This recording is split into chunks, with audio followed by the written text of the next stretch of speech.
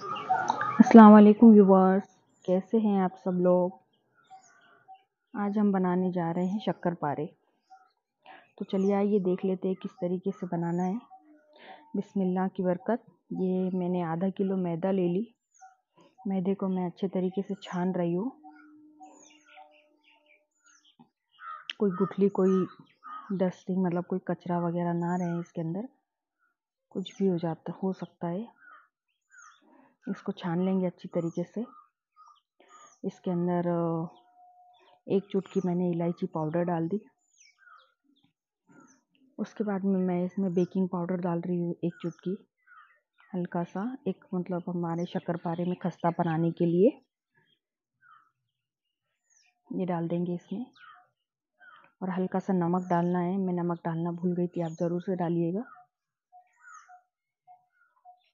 इसको अच्छी तरीके से मिक्स करके इसको साइड में रख देंगे। सूखी चीज़ों को। इसके बाद हम इसमें क्या डालेंगे वो देखते हैं। इसको एक तरफ़ करके रख देंगे, ऐसे बीच में गोल एक गोला बनाकर। उसके बाद मैंने अभी ये कढ़ाई चढ़ाई हूँ। कढ़ाई में मैंने आधी कटोरी दूध डाली। और उसके हिसाब से आधी कटोरी शक्कर डाली। और शक्कर पारे में मेरे हाथ से शक्कर थोड़ी कम हो गई थी। इसलिए आप अपने हिसाब से डालिएगा आपको जितनी चाहिए। शक्कर पारे मीठे ही अच्छे लगते हैं। इसको अच्छे से पकने देंगे, ये जोश आ गया कि इसके बाद फिर इसको गैस बंद कर देंगे। एक एक उबाल आने के बाद में, ये देखो गैस बंद कर दी मैंने। अब इसको थोड़ा सा ठंडा होने देंगे। और उसके बाद फिर हम इसमें डालेंगे आधी कटोरी घी। ठंडा नहीं होने देना है, हल्का सा थोड़ा गर्म ही रहे, उसी में घी डाल देना है।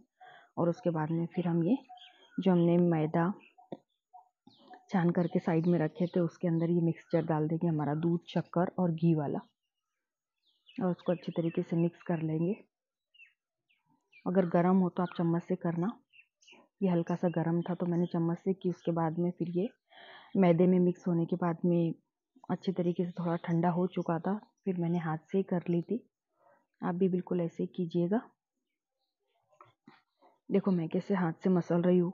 उसके अंदर जो हमने बेकिंग पाउडर डाले, इलायची पाउडर डाले, ये सब चीज़ें अच्छे से उसमें मिक्स हो जाए तो इसको हमें अच्छे तरीके से मिक्स करते रहना है।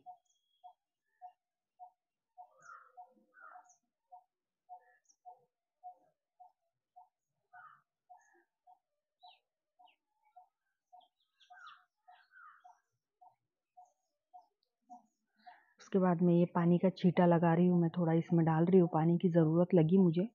तो मैंने बस ऐसे एक डो बना के रख दी हूँ। ये डो हमें ज़्यादा बिल्कुल जैसे हम आटा गूंदते हैं ना, रोटी के लिए वैसे बिल्कुल भी नहीं गूंदना है। ऐसा मतलब इसमें परतें आनी चाहिए, ऐसा करना है हमें। देखिए कैसे लेयर्स दिख रहे हैं इसमें तो इसको ज़्यादा मालिश मसाज नहीं करेंगे। इसके बाद हम इसको एक प्लेटफॉर्म के ऊपर इसको अच्छे तरीके से जैसे रोटी बेलते हैं ना, वैसे बेल लेंगे। बेलने के बाद में इसको कट करके इसके शक्कर पारे बनाएँगे शेप देकर। आप जैसा चाहो वैसा शेप दे सकते हो। मैं पिज़्ज़ा कटर से शेप दे रही हूँ। आप छुरी से भी दे सकते हो। मेरे पास में था तो पिज़्ज़ा कटर मैंने उसी से दे दी।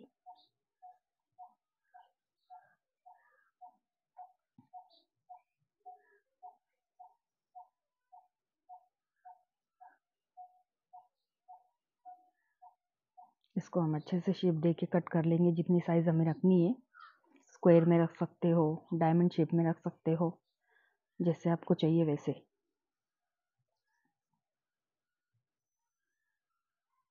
आप ये जो चम्मच होता है हमारा पूरी बनाने का, उससे भी कर सकते हो उसको शेप देने के लिए।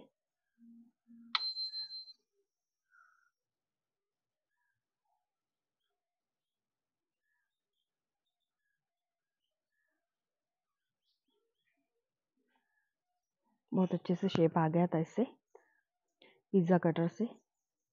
और इसमें पर्दे भी माशाल्लाह बहुत अच्छे से आई थी। इतनी साइज़ आपको रखनी है, आप चाहो तो इसको और मोटा रख सकते हो, लेकिन मुझे जितनी ज़रूरत थी उतनी ही रखी मैंने।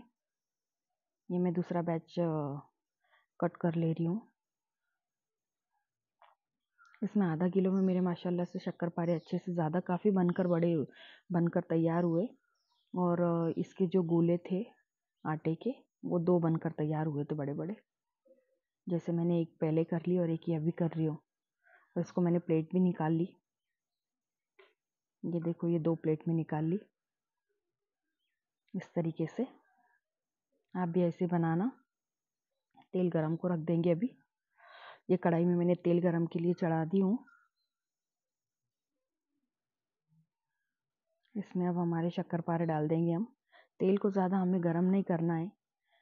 अगर ज़्यादा हम जोश गर्म कर लेंगे पहले से और उसके अंदर फिर शक्कर पाले डालेंगे तो फिर क्या है, वो जल्दबाजी में है ना। तेल ज़्यादा गर्म होगा उसकी वजह से ये बाहर की जो कोटिंग होती है ना आटे की, वो तो मतलब फ्राई हो जाएँगे लेकिन अंदर से कच्चे रह जाएँगे। इसलिए आपको ध्यान से ये करना है। पहले मीडियम आँच पर इसको फ्राई करें धीमी। उसके बाद थोड़ा थोड़ा धीरे धीरे फ्लेम को आप बढ़ा सकते हो। अंदर से क्रिस्प होने चाहिए ना तो वो अंदर से क्रिस्प नहीं होते हैं, अगर हम फास्ट गैस के ऊपर अगर फ्राई करेंगे तो। इसलिए धीमी आँच पर करें। एक बैच फ्राई होने के लिए कम से कम मुझे सात से आठ मिनट लग गए थे।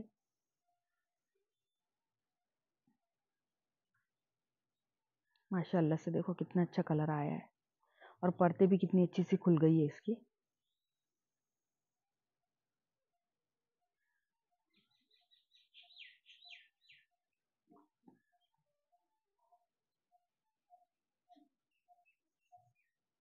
बनकर भी माशाल्लाह से बहुत अच्छे से तैयार हुए थे। इसको हम निकाल लेंगे प्लेट में। प्लेट में निकालने के बाद में इसको हम सर्व करेंगे अभी। बहुत क्रिस्पी और बहुत अच्छे बने थे। आपको मेरी वीडियो कैसी लग रही है, अच्छी लग रही है तो लाइक, शेयर, सब्सक्राइब कीजिए। मेरी वीडियो को सपोर्ट कीजिए मुझे। अपने रिलेटिव्स में शेयर कीजिए मेरी वीडियो को। क्रिस्पी बहुत अच्छे बने थे। ये हाथों में देखो कैसे चूरा हो जा रहे। ठीक है? लेयर्स माशाल्लाह बहुत अच्छी बनी थी इसकी।